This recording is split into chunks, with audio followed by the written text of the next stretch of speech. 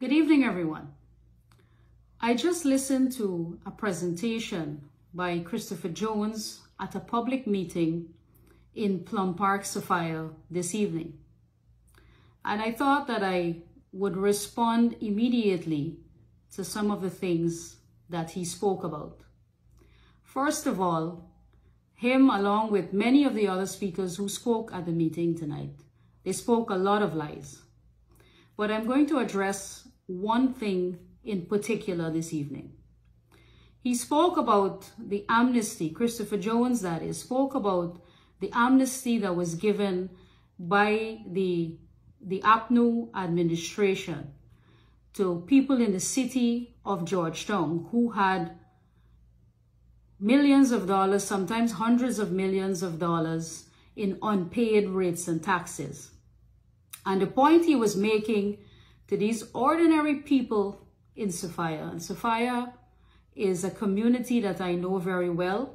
Um, I do a lot of political work in, in, in that community. I have political responsibility for that area. And the people in Sophia are wonderful people. And he's speaking to these people this evening and telling them that the APNU Council gave amnesty to people who own property in the city, amnesty for their rates and taxes. What he failed to tell the people of Sophia was that the amnesty was a scheme of theirs to indulge in gross corruption. So how it worked was that if you owed the council a hundred million dollars and they gave you amnesty, $75 million was amnesty and $25 million was the kickback. If you owed $10 million, you were given an amnesty of $6 million and you had to pay $4 million as part of the corruption scheme. That is what he didn't say to the people of Sophia tonight.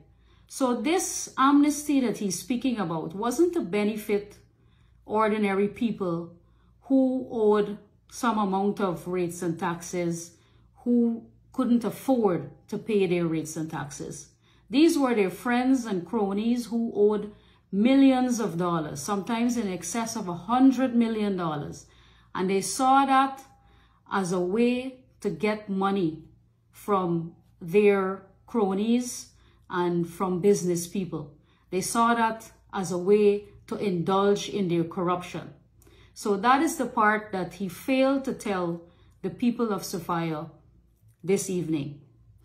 And I'm going to, tomorrow and when I have my meeting, my public meeting in that same area, we will address more of all of the things that they spoke about this evening because they have a duty when they go out at these public meetings to be honest with the people. And the people need the facts.